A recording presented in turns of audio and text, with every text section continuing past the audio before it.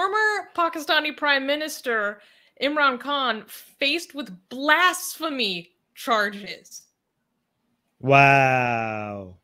Like, Wow. if you've been following this channel for a while, you have you know how huge this is. Oh no. I sent this to Armin like this is crazy. This is crazy. Um so the Pakistani political drama has reached a new peak. Let's get into it. On May 1st, Pakistan's recently ousted Prime Minister Imran Khan was booked with blasphemy charges along with 150 others, including Khan's top political allies. In early April, Khan was removed from office after the parliament gave Khan a decisive uh, vote on a no confidence motion, sparking mass protests from his supporters. The blasphemy charges were filed by Mohammed Naeem, a citizen of the city of Faisalabad. The complaint filed by Naeem is linked to a group of Pakistani pilgrims in Medina who protested the new prime minister Shahbaz Sharif's arrival in Saudi Arabia. Saudi Arabia. During this protest in the holy city, Prime Minister Sharif was called a thief and a traitor, and other, quote, explicit language was used.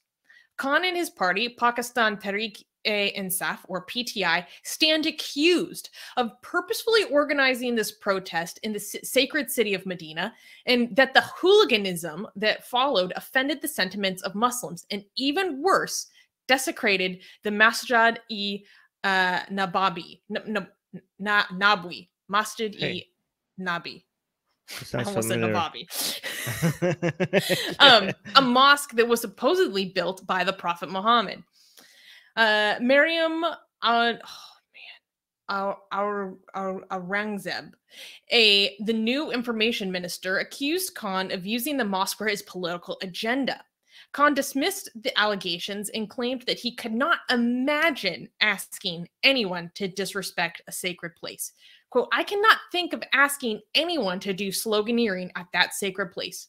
He explained that, quote, no one who loves the prophet could even think of it. In Pakistan, blasphemy is punishable by up to 10 years in prison, life imprisonment, or even the death penalty. Wait, so his Imran Khan's position was in Medina, and some people protested, and the protest led to people using slurs and some destruction. Look, what else did they do? They did some bad things, and now people are saying Imran Khan was responsible for that, and therefore, because he's responsible for that, this is blasphemy. Am I getting this right? Yes. Okay, okay. and Um, it wasn't the, it, the the blasphemy is just seems to be like the fact that like general unrest was caused in the holy city So somebody, uh, s- uh, somebody with the username Pakistani communist in the live chat is saying, Armin, Imran Khan sent people to the protest. Do we know if Imran Khan sent people to the protest? Do no he that? Denies it He denies it. How do we know? Uh, is this a footage of the protest? i think Can so we play? Wait, you guys don't have audio. The audio is great. Hold on. Let me know if you have audio. Like-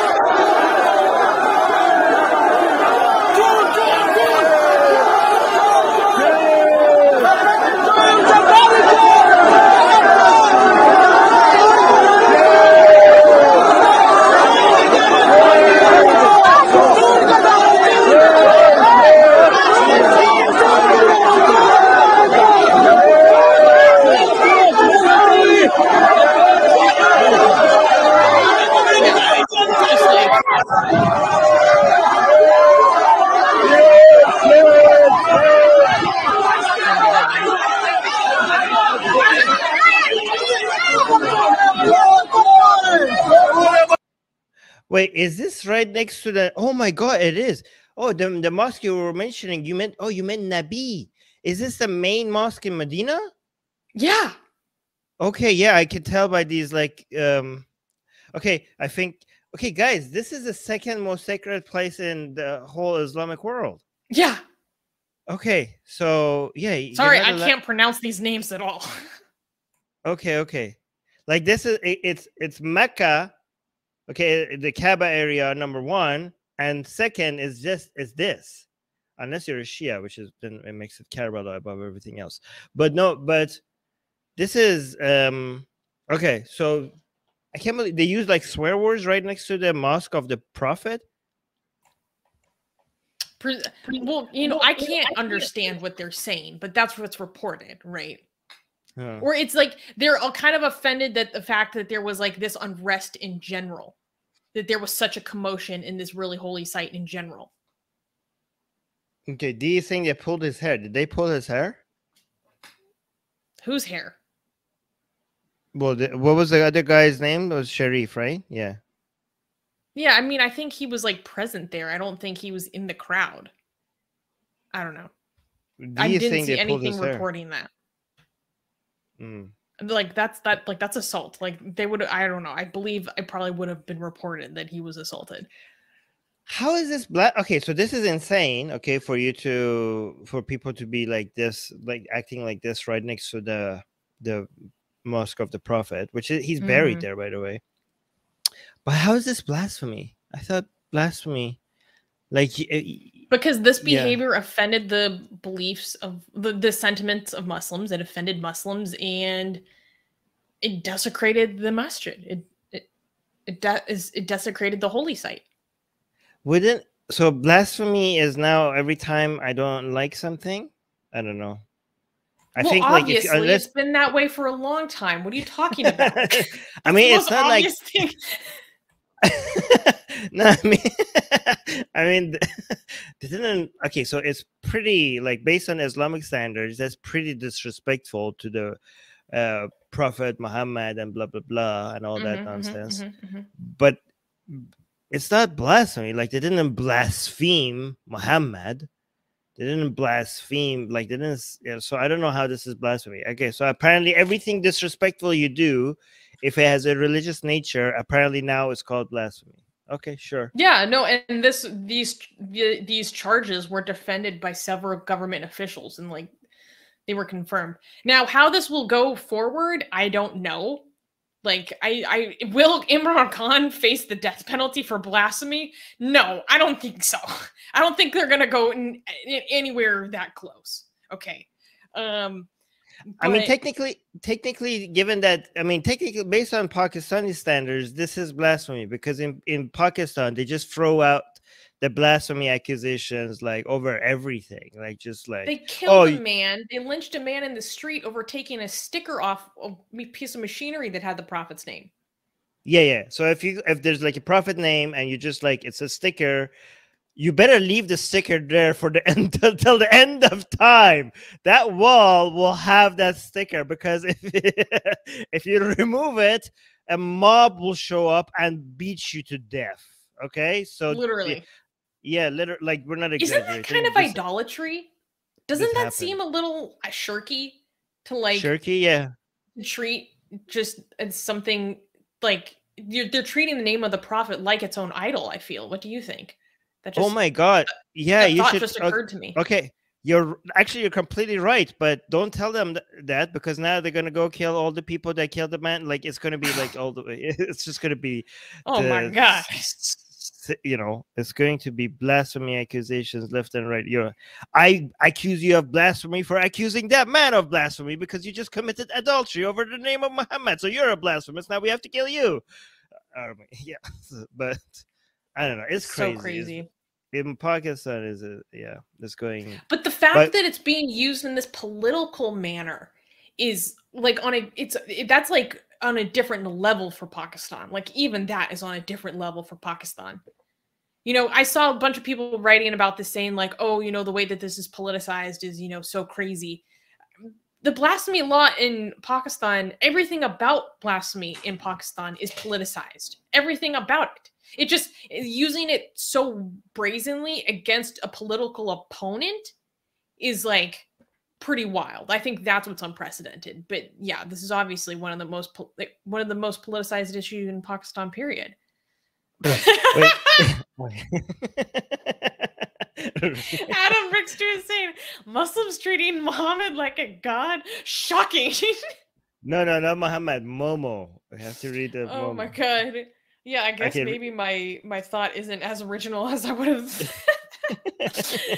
um, Pakistani communists is saying, Armin, it isn't genuine blasphemy charge. The new government must use this blasphemy law to discredit Imran Khan. Otherwise, he will come and cause ruin. Ah, so people, and so he's saying this is not actually. People know that this is not real blasphemy, but they need it. But yeah, they needed to remove. I think him, that's a good so point.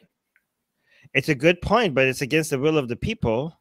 I mean, do you want to like we It's we are undem- unde- undemocratic. it's undemocratic. Yes, like I'm also against Imran Khan, but I'm also for democracy. So if Imran Khan is the will of the Pakistani people, that's how it is. Like I don't know, like you have you have to you have bigger problems that you need to solve. You can't just like force it upon the people, right? Um. Oh, here, what is this? Malik is giving us new information here. He's saying as it as it for it going forward, the courts ordered the police to take back the FIR. That's the police report and remove the blasphemy charges. Is that true? Oh, okay. Let me see. Let me Is that true? Google we don't know. really We- quickly. As of for the courts ordered the police to take back. Is that the latest FIR. update? Imran Khan. Wait, how can we can we take back the FIRs against us in India? Is that how how the how did they do? We wanna do- can't. The courts can. We have for people who don't know, we have uh, me and Susanna also have FIRs filed against us for drawing Hindu goddesses. Okay. Um I'm not seeing anything about it being revoked.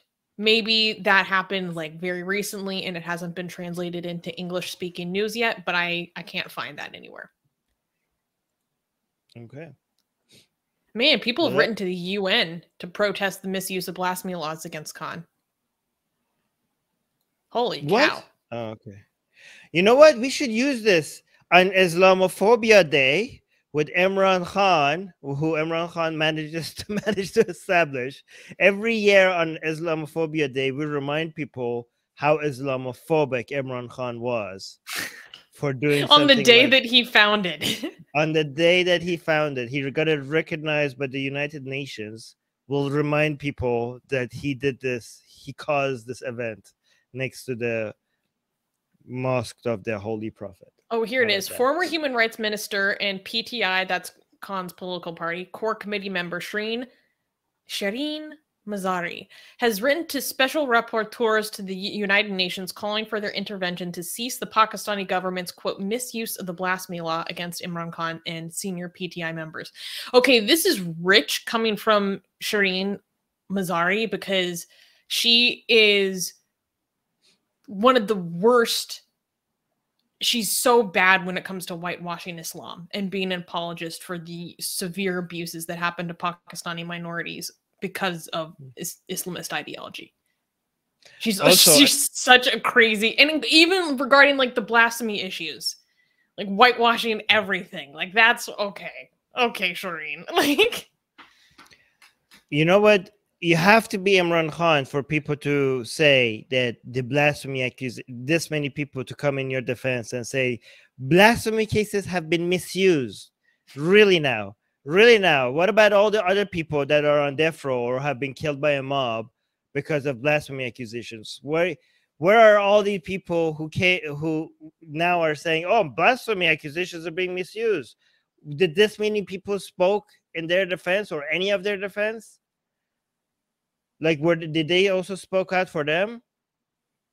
I bet you a lot of these people. I- uh, I will bet that a lot of these people, are like, oh, you're you're you're overdoing it with blasphemy accusations. A lot of them were the same people that would be first in line against the people that were so based on nothing, based they on make just excuses false when it happens to accusations. minorities. yes, they make yes. excuses. Yeah. All right. Um. Yeah, including Imran Khan himself, by the way, Yeah. who who actually added to the oppression of people, including the Ahmadis, instead of fighting against it. Mother. Atheist Republic needs your help. We have been the target of many legal attacks by Hindu nationalists ever since our founder, Armin Navabi, blasphemed against Hindu deities.